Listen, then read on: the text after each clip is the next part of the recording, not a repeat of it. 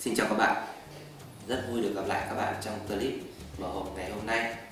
Ở Trên tay mình là hai chiếc tai nghe đến từ thương hiệu Voco Đây là tai nghe Bluetooth và có thể kết nối được cả bằng dây. Ở đây mình có hai chiếc tai nghe, một là màu trắng và một là màu đen. Thì hôm nay mình sẽ mở hộp hai chiếc tai nghe này. Trước khi mở hộp thì mình à, cũng xin giới thiệu một vài thông tin về cái sản phẩm này. Thông tin về à, thông số kỹ thuật. Ở đây, chúng ta có phần thông số kỹ thuật được à, hãng thể hiện trên phần vỏ hộp. Thì với cái chiếc tai nghe này, có tên là VK4 VK4 này ạ.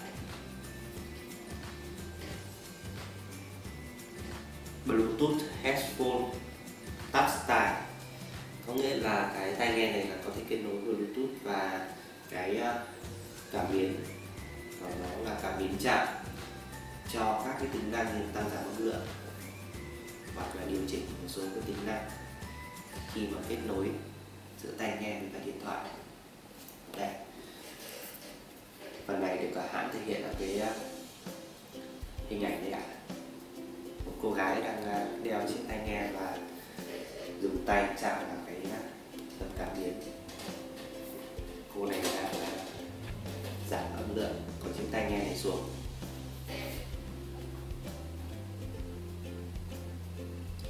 Thì thiết bị mà dành cho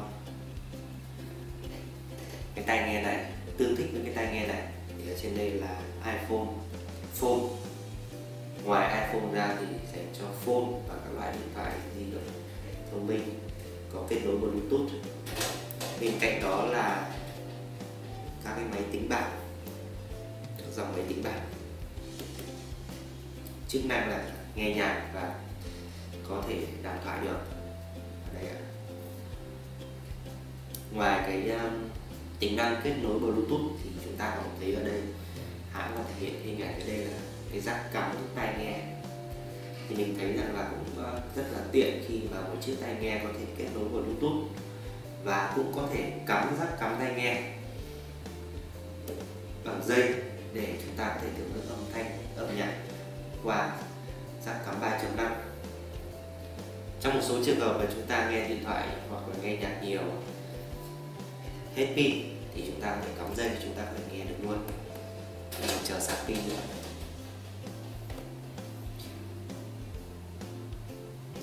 với UCO thì mình thấy là cái hãng này thường là sản xuất các thiết bị về phụ kiện như là bao da máy tính bảng bao da cho iPhone uh, Samsung hoặc các dòng điện thoại smartphone và những cái dòng pin dự phòng. Thường thì mình thấy là những cái dòng phụ kiện mà hãng sản xuất được xuất sang thị trường Việt Nam nhiều nhất mình thấy rằng là chủ yếu thường là bao da cho máy tính bảng và cho smartphone. Thì với cái dòng tai nghe này, nó rất là mới, rất là mới trên thị trường. Gần như là không có sẵn nhiều đâu ạ. Hôm nay trên tay mình đang có hai cái phiên bản màu trắng màu đen. Mình sẽ mở hộp trước khi mở hộp hai cái chiếc tai nghe này cho các bạn thấy.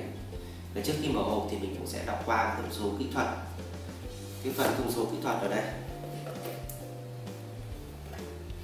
Phần thông số kỹ thuật ở đây là tần số âm thanh từ 20 đến 20 Hz kết nối là Bluetooth 4.0 cái à, khả năng kết nối trong à, phạm vi 10 mét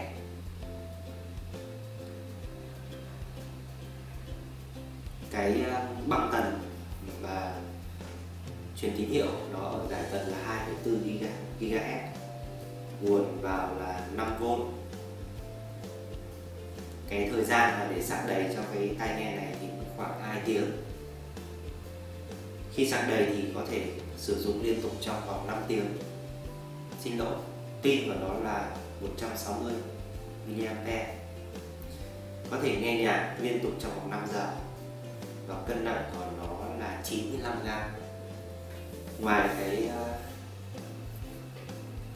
thông số kỹ thuật đó thì còn có thêm các cái mô tả về cái việc kết nối bằng mối bluetooth và kết nối bằng, trực tiếp bằng dây và có thể trả lời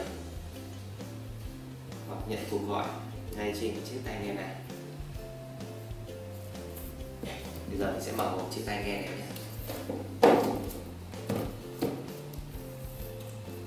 Được thiết kế khá đẹp. À, đóng hộp rất là chắc chắn đến từ một thương hiệu tương đối là nổi tiếng.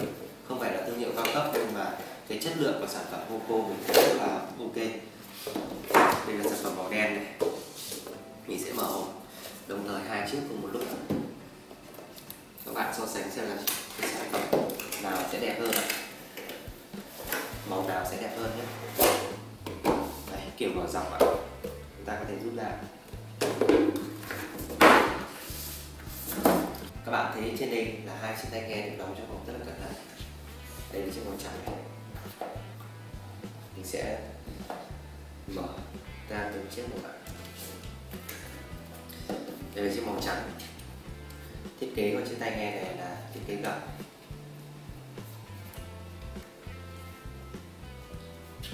Trên cái à, tai nghe này thì có thể hiện phần mềm L là bên trái này.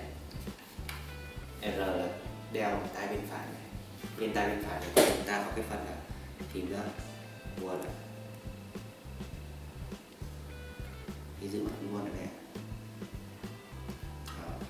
các bạn sẽ thấy cái đèn xanh và sáng lên và có tiếng pháp âm thanh là power on này. khi kết nối rồi thì, thì mình một lát nữa mình sẽ kết nối chiếc uh, tai nghe này với cả điện thoại để mình test thử. Bên trong đây là cái phần uh, xốp này xốp và được bọc da rất là chắc chắn và rất là mềm êm nữa mình đeo thử. Cái phần này thì nó sẽ thiết kế hơi vát một chút không phải là cái thiết kế phẳng không phải là phẳng mà đây thiết kế hơi hình chóp nó hơi hơi thôi hơi một chút để nó vừa với cả cái cái cái cái khuôn khuôn mặt khung xương của người đeo. Cái tai nghe này cũng có cái phần rút ra, rút lên, rút xuống để cho chúng ta có thể chỉnh chỉnh các cái kích cỡ phần à, phần đầu của mình sao cho nó phù hợp vừa thích đây, ở trong đây thì chúng ta có 5 năm đất, từ đất 1 đánh số từ đất 1 đến đất 5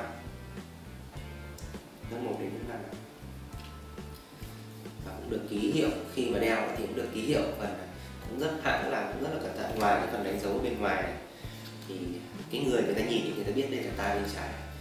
Nhưng mà cái người đeo thì để đeo thì không ai có thể. Rất là ít khi mà quay sang để nhìn này. Thì hãng sản xuất bên trong này cũng đánh dấu phần ký tự ký hiệu này left bên trái này right bên phải này, để cho các bạn không bị không phải mất thời gian để quay sang quay sang để nhìn xem là cái thiết bị này nó đang đeo ở vị trí nào. Thế ví dụ như như mình đeo ở đây thì nếu mình rút hết ra ở cái mức nặng ấy, thì nó sẽ xuống tận lái mình thôi. Đấy, mình chỉ đeo được cái mức là mình nghĩ là tối thiểu rồi Đấy. rất là gọn thế bây giờ nếu mà mình à, tiếp theo đây là cái phần à, thực hiện này Đây, dưới này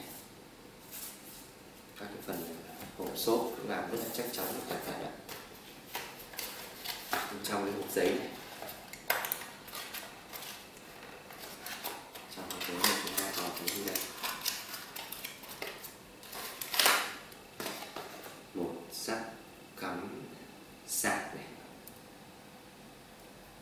Cáp USB để cắm sạc này.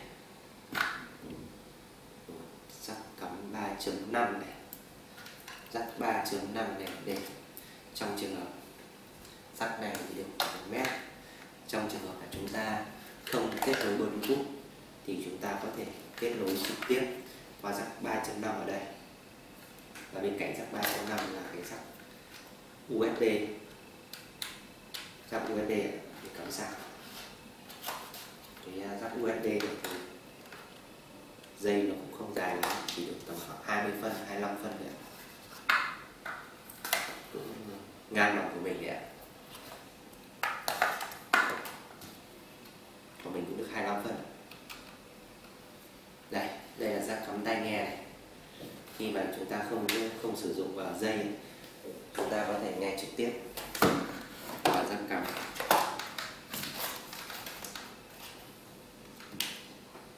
Ồ, mình xin lỗi cái này nó không thiết kế cho iPhone 7 mà nó chỉ dành cho iPhone có những hoặc là những smartphone có cái jack cắm 3.5 thôi ạ.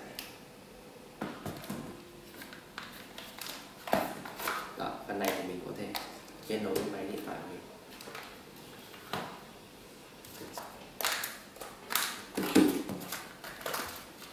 Ngoài ra, nếu mà không kết nối với điện thoại qua dây thì chúng ta có thể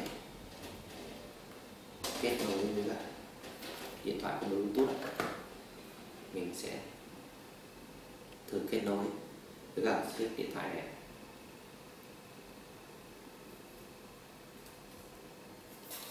khi bật lên thì cái đèn này bluetooth và đèn nguồn nó sẽ sáng nhấp nháy đèn nguồn này sẽ sáng nhấp nháy ở đây sẽ hiển thị đây là Hoco V4. Đó.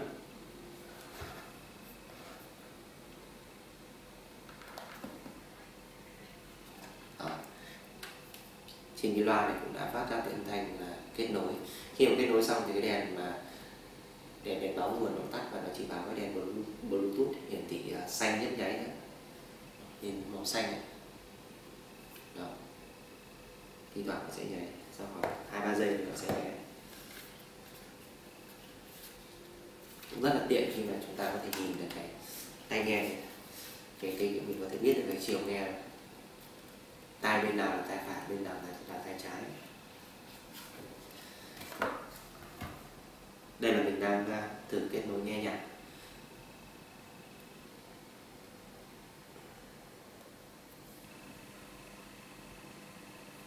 Rồi. Đã lên rồi ạ. à,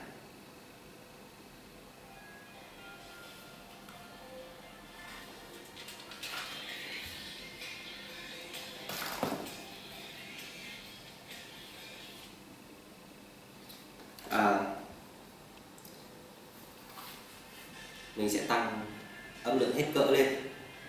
Và các bạn có nghe thấy gì không ạ? Các bạn cùng lắng nghe nhé, xem nào.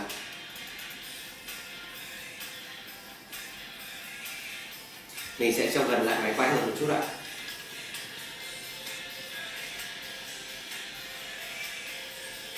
Bây giờ âm thanh này.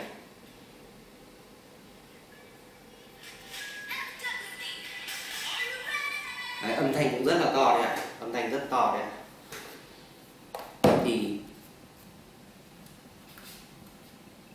khi mình đeo tai vào đây này, mình sẽ thử mình sẽ nghe thử xem âm thanh chất lượng âm thanh như nào.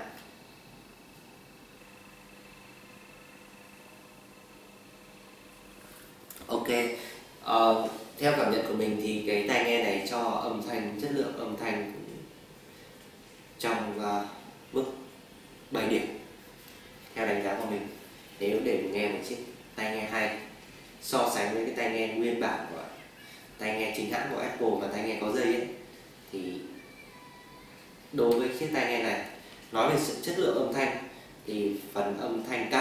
thanh cao thì nó cũng tương đương với các dòng âm thanh các dòng tai nghe khác. Cho chất lượng âm thanh cũng rất là ok. Cái phần trống tại vì còn về phần trống thì mình thấy là phần trống thì nó sẽ hơi ít hơn một chút. Ít hơn các cái cái hàng à, cái, cái hãng khác hoặc là những cái tai nghe dạng dạng nhét vào tai này. Đấy. tại vì là cái thiết kế của tai nghe cũng rất là mỏng. Nhưng mình nghĩ rằng là với những cái thiết kế như, như này thì nó sẽ cho chúng ta đeo một cách rất là thoải mái. Để có được chất lượng âm thanh mà dày hơn thì mình cần phải chạm hai tay. Chạm hai tay và cho cái tai nghe này ôm sát vào hai bên tai thì mình sẽ thấy được những cái âm thanh nó dày hơn, trống đầy đủ hơn. Bên ờ, bên cạnh cái tính năng nghe nhạc ấy thì chúng ta còn có thể là trả lời cuộc gọi và đàm thoại qua điện thoại trên cái tai nghe này, qua cái phần mic thu âm ở đây Đấy. ngoài cái tính năng mà điều điều chỉnh ở trên điện thoại giảm, tăng giảm âm lượng thì ở trên tai nghe này nó có cái phần giảm âm lượng ở đây đó. mình vuốt vuốt hoặc mình chạm chạm là âm thanh cũng đã, nó cũng đã nhỏ đi rồi mình tăng tăng âm lượng lên đã nó cũng to lên đấy ạ.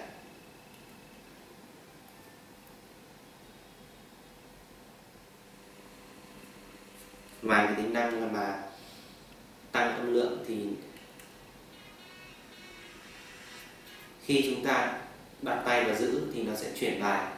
Thế còn khi mà chúng ta vuốt thế này thì âm thanh âm thanh sẽ to lên. Còn nếu chúng ta chạm vào là tính năng ở trên đây nó sẽ kết hợp vuốt thì nó sẽ tăng giảm âm lượng còn nếu mà chạm và giữ thì nó sẽ chuyển sang cái phần là next next bài hoặc là back quay lại những bài trước đó, vuốt này, âm thanh dễ bé đi này.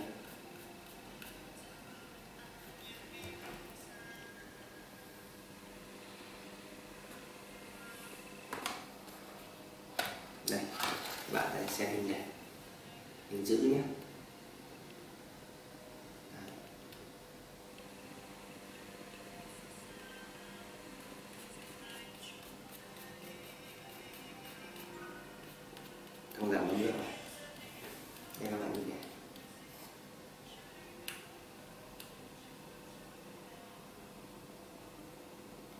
anh mình đặt cái là ba mình sẽ quay trở lại. Hoặc là mình chọn bài này đi Đấy. mình giữ này bỏ ra này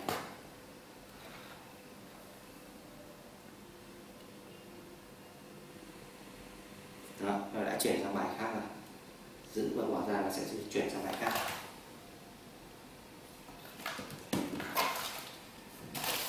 Như vậy là cũng hết rồi. Trong đây không còn gì ngoài cái sách hướng dẫn thôi ạ. Sách hướng dẫn tiếng Anh và tiếng Trung ạ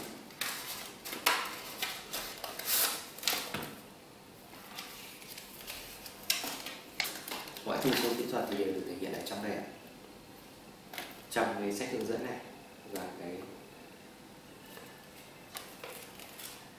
catalog này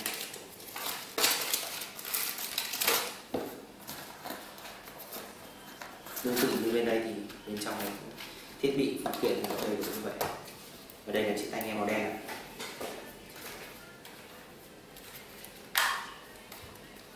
đây là hai chiếc màu đen. Hai chiếc tai nghe, một màu đen và một màu trắng.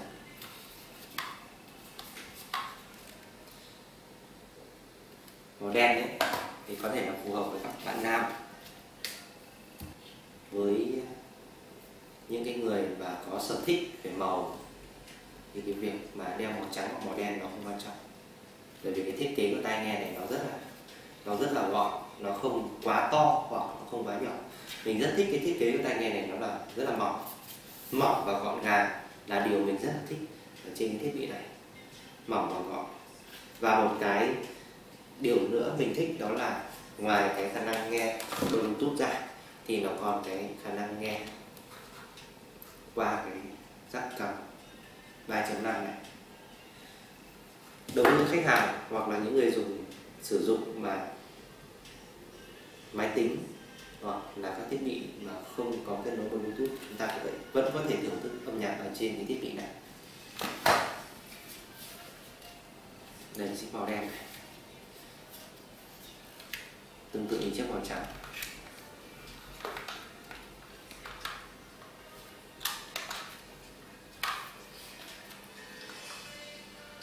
Mình thì mình thích chiếc màu đen này hơn. Các bạn thì các bạn thích màu nào hãy để lại comment bên dưới. Mình sẽ tư vấn cụ thể. Nếu thấy video hữu ích, thì nhớ like, share và subscribe, ủng hộ cho kênh của mình nhé. Bây giờ mình xin kết thúc clip tại đây. Xin cảm ơn và xin chào, hẹn gặp lại các bạn. Chúc các bạn một năm mới an khang thịnh vượng, sức khỏe dồi dào. Xin chào.